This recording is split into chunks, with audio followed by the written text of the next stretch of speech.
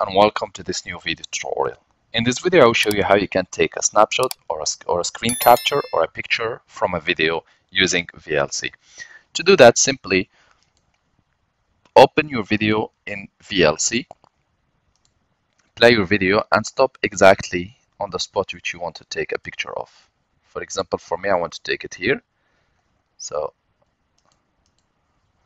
press Shift S in the same time and you should see a message indicating that a snapshot has been taken from your video.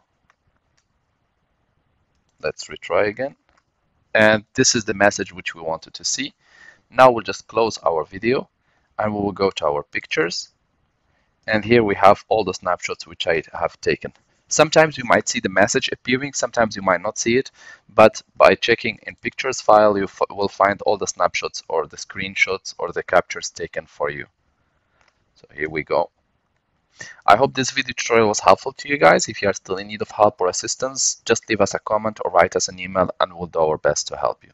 Don't forget to subscribe also to get our latest videos. Thank you for watching and talk to you soon in a new video tutorial.